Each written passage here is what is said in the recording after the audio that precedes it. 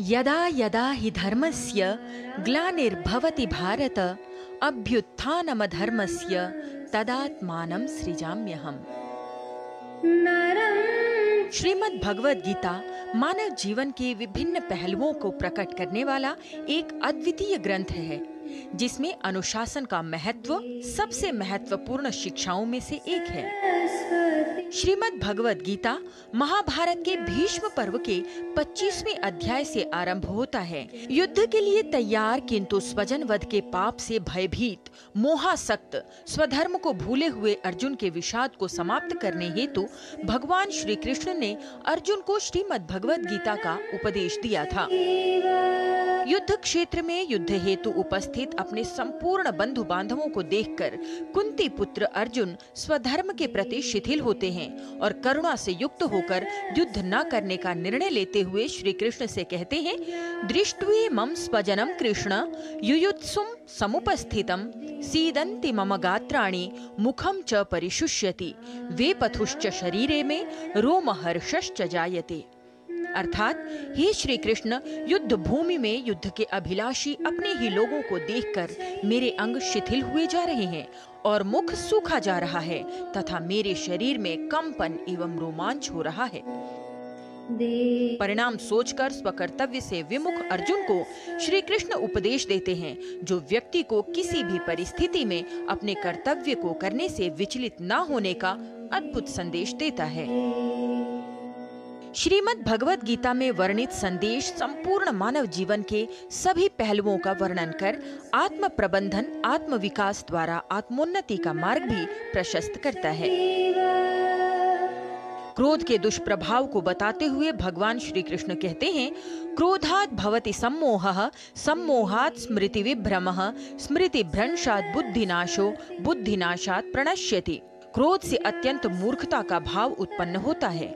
मूर्खता से स्मृति में भ्रम हो जाता है। स्मृति भ्रम होने से बुद्धि अर्थात ज्ञान शक्ति का नाश हो जाता है और बुद्धि का नाश हो जाने से व्यक्ति का सर्वस्व नष्ट हो जाता है। श्रीमद् भगवत गीता ग्रंथ ज्ञान की खोज के महत्व तथा कर्म के सिद्धांत पर बल देता है। जीवन जीने की कला सिखाता है, जिससे कठिन परिस्थितियों का बहुत ही सरलता से समाधान प्राप्त कर व्यक्ति प्रसन्न रह सकता है। कर्म के महत्व को बताते हुए भगवान कहते हैं कर्मण्येवाधिकार अस्ते माँ फलेशु कदाचन। अर्थात कर्म करने में व्यक्ति का ध्यान होना चाहिए, उसके परिणाम में नहीं।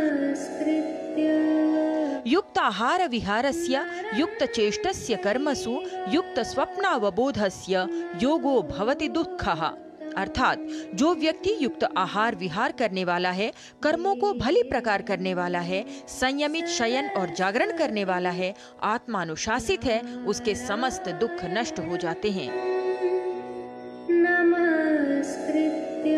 गीता में मानसिक स्थिरता संयम और जीवन को संतुलित रखने हेतु स्वनियंत्रण का भी महत्वपूर्ण संदेश दिया गया है।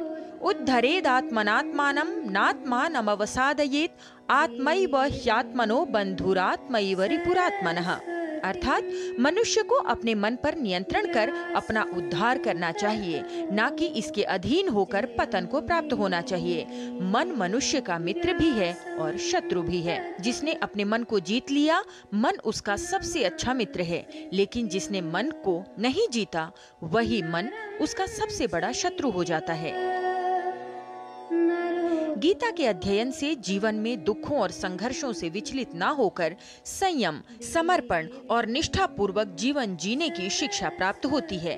साथ ही अनेक जीवनोपयोगी आत्मविकास आत्म प्रबंधन के लिए आवश्यक भारतीय ज्ञान परंपरा पर आधारित संदेश भी महाभारत के भीष्म पर्व में वर्णित श्रीमद भगवद गीता में उल्लिखित है, जो सभी कालों में व्यक्तित्व के विकास के लिए अत्यंत ही महत्वपूर्ण है। लता वसिष्ठ डी डी न्यूज.